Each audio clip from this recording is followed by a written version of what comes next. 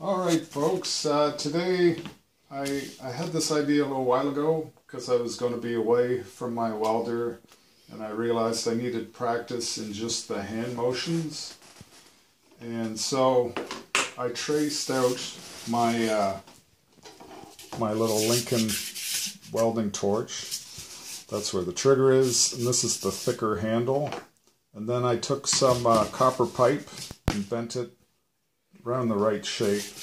And I got some three quarter uh, PEX for the handle. Fortunately, no trigger, but you know, we're just uh, coming up with something here. And I stuck a Sharpie in there. I did try a short Sharpie, but it's hard to put the cap back on, although you could cut this, and then you'd be a little closer to where the, the wire comes out. Um, another idea I came up with today was uh, if you don't have copper pipe kicking around, you might have some house wiring. This is just copper wiring, and it seems rigid enough. Just tape a Sharpie to it. This one you could probably move back a bit. So anyway, um, and as you all know, welding is all about patterns. This is uh, a welding book I got a while back off eBay. It's a lab manual, and uh, it mostly had like exercises in it, but it had a few patterns and when to use them. So they say um, for most flat welds, like a 1G weld, they like this pattern. Can also be used for vertical. And then this one they like on lap joints and vertical.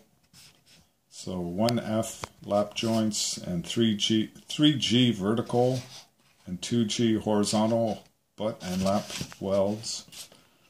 Uh, 2F. And then they say this pattern allows the heat to be concentrated on the thicker plate. Anyway, this kind of stuff. And then this one they like for vertical and overhead. And uh, and here we got, you know, this pattern is like a narrow bead for deeper heat penetration, and this is a shallow bead for, uh, sorry, wide bead for shallow heat penetration. So anyway, once I got my rig set up, you need to make sure, you know, your cardboard stays still to basically mimic a flat sheet of steel. So here at the kitchen counter, we're just going to tape down our cardboard. And uh, then you can do your practicing.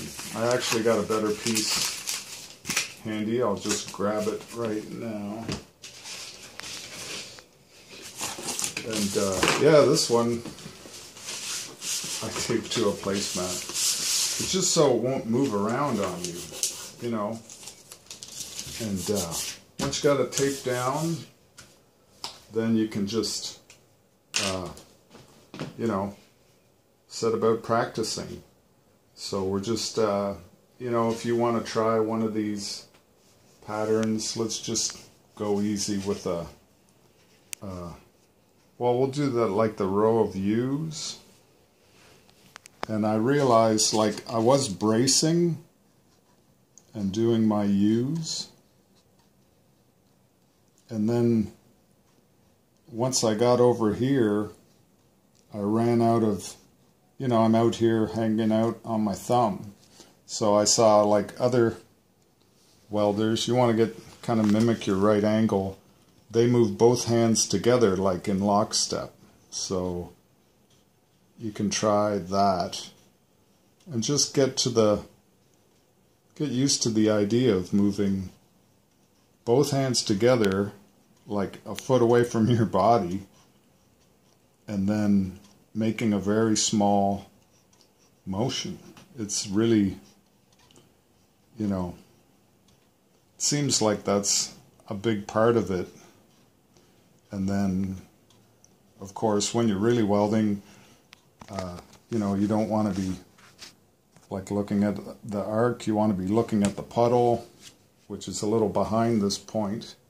But I find you kind of look back and forth between because you need to know where you're going, which is where these lines come in. They're uh, they're helping you, you know, keep an idea. And you can almost figure if this line was, say you're doing a lap weld and it's two pieces of metal, you want to make sure you're you're mostly spending time on that line. So you might try, you know, this type of almost like a shark tooth pattern. And then later it gets covered up when, while you're doing it, but it's like a really tight circle or, you know, cursive E, that kind of thing. And, uh, you know, just working away at it and then uh, just doing like that.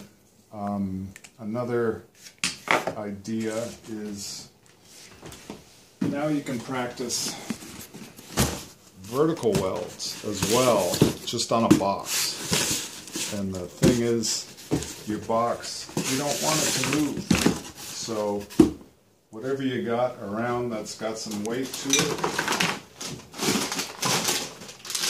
box up. There goes an orange. We got a box of oranges here. So that's, you know, because you're vertical welds are tricky, so now you can, you know, you're supposed to be your gun pointed up a bit. So you can probably do this better right off the edge of the counter and then, you know, work your way up. Vertical. I've read just that this is this puts more heat into the joint, but uh, going down seems to be easier, but it might not get enough heat penetration. And the one, this is where your little triangles come in, like up over, and that keeps the heat right in the in the groove or in the root. Something like that. So between, you know, this setup and watching YouTube videos, you can kind of put what you see to practice a little bit anyway, just because, you know, what else are you going to do, right? And uh, now you can also do horizontal. Same thing with uh, horizontal and then out of position. So if you're, say you're working, this was a car up on a lift, you know, and you gotta, you gotta work away at it. It's moving a little bit, but you can add more weight, kind of stop that. And there I was, I was bracing, but really I think what you need to do is two hands together, and it's it's tricky, you know.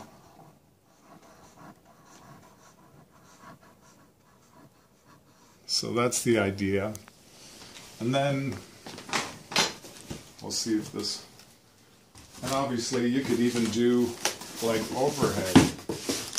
You lean this box out, gotta get way down. You know. So pretend you're under a vehicle or something. And here you are. You know. That's really tricky. Partly because it's like four feet away from me, but you get the idea. Burn through. Anyway. So, you know, oops, with a little, so yeah, with just, you know, just some ideas. Uh, yeah, so, you know, get some cardboard, just cereal boxes or whatever, and then uh, get a box that's good and solid. Uh, even if you got like a workbench, that works as well. And then you can practice like even sitting down and having to weld as if you're in the shop working on a vehicle or some other piece. And then, uh, and then, yeah, just practice, you know, practice your patterns and, and, uh, you know, and then get that muscle memory going, right? And I bet the next time you're actually in front of a welder, it'll it'll make a big difference. All right, good luck with your welding, and uh, thanks for watching. Subscribe.